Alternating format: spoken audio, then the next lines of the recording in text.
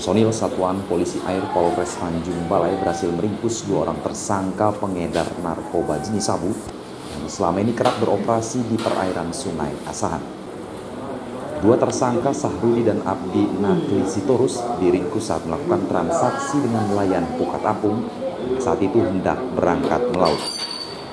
Kapolres Tanjung Balai AKBP Putu Yuda Prawira saat ditemui membenarkan adanya penangkapan terhadap kedua tersangka. Kapolres juga mengatakan kedua tersangka yang pada saat itu terlihat oleh personil menggunakan sebuah sampan kayu kemudian bersandar dan naik ke atas kapal ikan pukat apung yang saat itu sedang berlayar.